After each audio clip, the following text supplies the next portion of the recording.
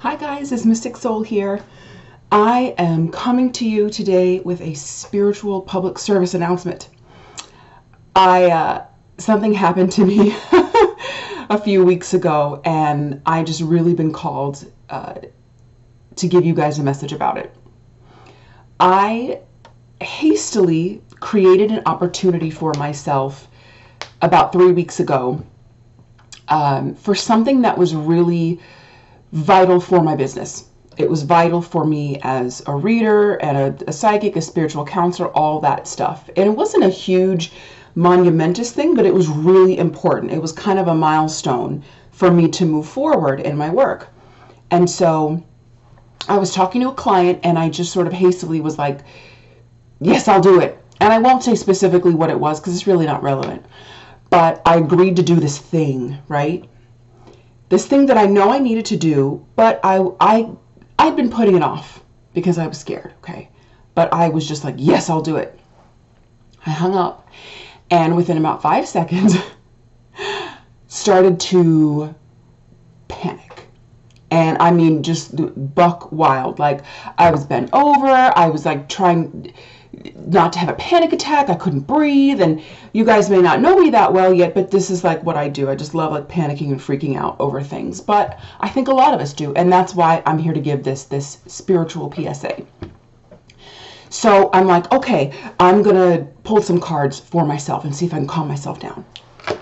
And Spirit was basically, with every card I pulled, Spirit was just like, you're freaking out right now, and we're not talking to you which in hindsight was really the only answer that I deserved. Like I was out of control.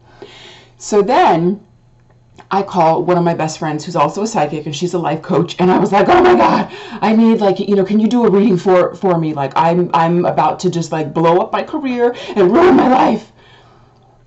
So thank goodness she had time for me and she's like, "Sure." So she gave me an amazing reading and one of the first things that she said to me was, you know, this is going to go well unless you decide to mess it up. If you decide to sabotage it, then you're going to have a problem. But as long as you don't conscientiously decide to mess this up, it's going to be fine. And she went on and she was starting to say something, but I could feel her hesitating. And it's like, you know, when you have a really good friend who kind of needs to give you a difficult message, but they don't want to like rip you a new one, I could sense her hesitating like that. But she went ahead and she said, It's kind of like, it's kind of like you have no excuse. You have no excuse not to do this thing. As a matter of fact, you have no excuse not to have already been doing this. And as soon as she said that, I think she was hoping not to offend me, but as soon as she said that, I just burst out laughing because I knew that she was right.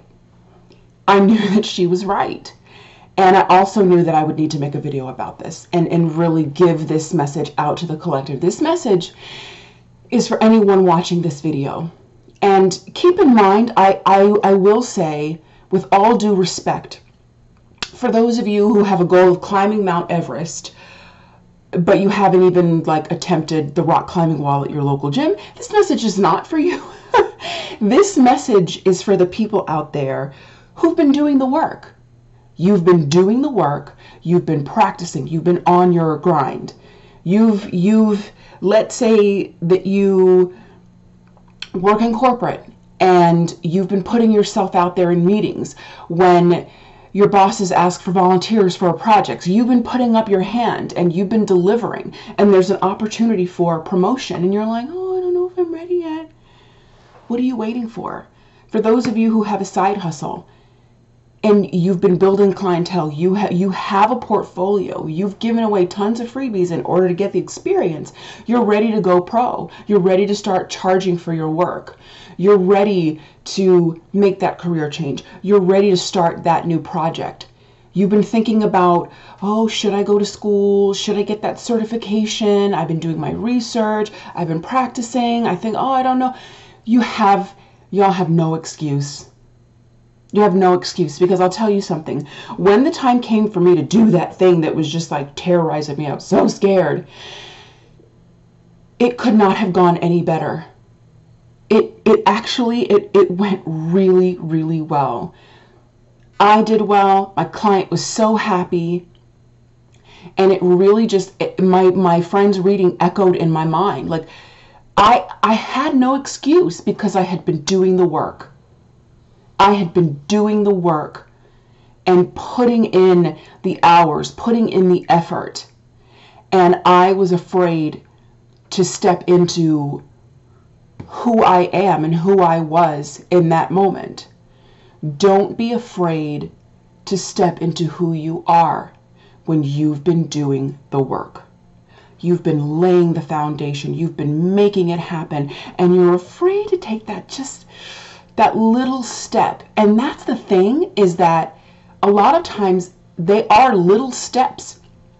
When we're working on something, when we're trying to accomplish a goal, whether it's spiritual or it's in the mundane, it, you know, I put that in quotes because everything that we do is important. That's kind of what I'm getting at is that you know, there are some huge leaps that we take that we're like, okay, this is major.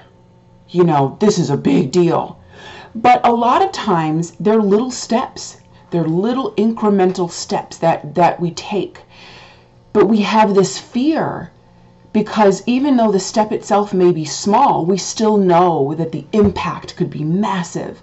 And so we hold ourselves back and we keep ourselves smaller we stay attached to our old self, our prior self, who we were before we made this next, you know, before we took this next step. And so I really got kind of this this message for me was really kind of a kick to the gut but like i said it didn't hurt so much as it made me laugh and it just made me realize like it's true i've been making excuses not because I know low key, I know I'm not re- really prepared. No, I was afraid. I was afraid. And so I'm just here to tell you guys you have no excuses. You have no excuses. Do that thing. Take that leap. You can do it. And many of you will do it. Why not? You really have nothing to lose. And I think that's something that, and that's why I want to give this message because I forget this too. I forget it too. You, I feel safer not taking certain risks or not making certain small steps that I know I have the intuitive sense to know, or even the practical sense to know, this could really have a big impact on who I want to be and my life going forward. So, for those of you out there who have been putting in the work and have been afraid to take that next step, you have no excuses. That's all I wanted to say. Thanks for listening. Um, I'll be back soon, and I hope you guys are doing well. And yeah, I'll see you next time. No excuses.